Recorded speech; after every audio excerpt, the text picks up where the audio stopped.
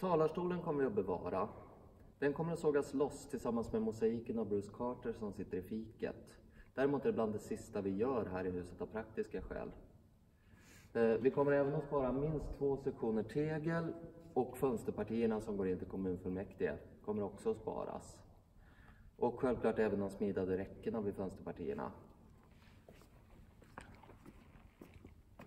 Och vi kommer även att spara räckena Oregon Pine som sitter på balkongerna.